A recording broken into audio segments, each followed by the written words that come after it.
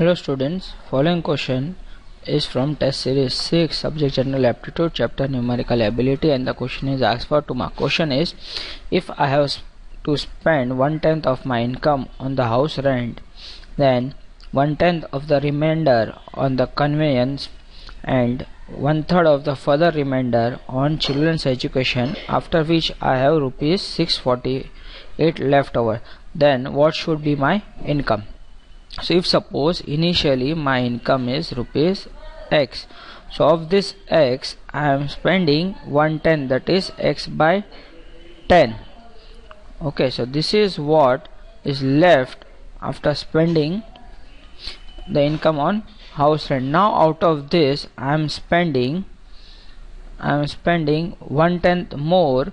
So again this would be x minus x by 10 this multiply by 1 by 10 so this is overall income what is left after spending on this is income after left spending on the conveyance.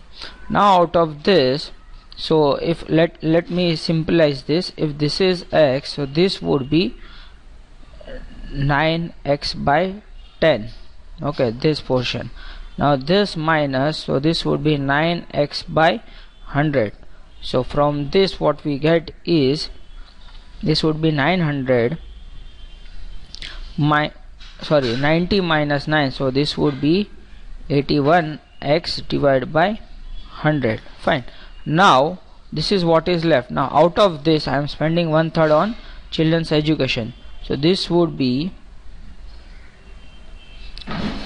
81 divided by 100 into one third now since I am subtracting finally from this original so this would be 2 third is equal to 648 solving this we get solving this what we finally get is the value of x is equal to 1200 that is nothing but yes our option B. Thank you